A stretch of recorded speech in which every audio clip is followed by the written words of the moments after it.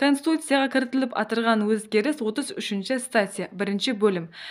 Кім пікірлеу сөз һәм сенім еркінлігі құқығына ие. Әмелдегі конституцияда кім пікірлеу сөз һәм сенім еркінлігі құқығына ие екенлігі көрсетіп өтілген болса да пікір жүріту һәм оны білдіру еркінлігі мемлекеттік сыр һәм басқа сырларға байланыслы болған жағдайда менен шекленуі мүмкіндігі белгіленген еді бұл болса инсанды инсан етіп тұрушы ажыралмас һәм табиғи болған пікірлеу қабілетін шектеуді білдіретұғын еді жаңа редакциядағы конституцияда болса бұл норма ұлыма тән алынған халықаралық құқық нормаларына сәйкеслестіріліп онда пікірлеу құқығын шектеуді нәзірде тұтатуын бірде бір норма белгіленбеген.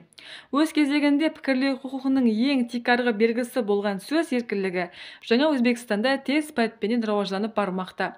Бұл нелерде көрінеді? Өзбекстандағы ғалаба хабар құралдары саны 2016 жылға салыстырғанда дерлік 30 процентке артып 1962-ге жетті.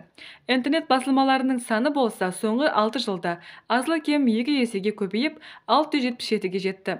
Мағлұматты іздеу алу һәм тарқату да мазмұны және формасы жағынан түптеп өзгерді. Солай екен жаңа редакциядағы конституция қабылданса пікірлеу һәм сөз еркіндігі жаңа өзбекстанның визит картасы сипатында қалыптасып пікірлер әртүрлілігін тәмамдеудің кепілі болып қызмет етеді.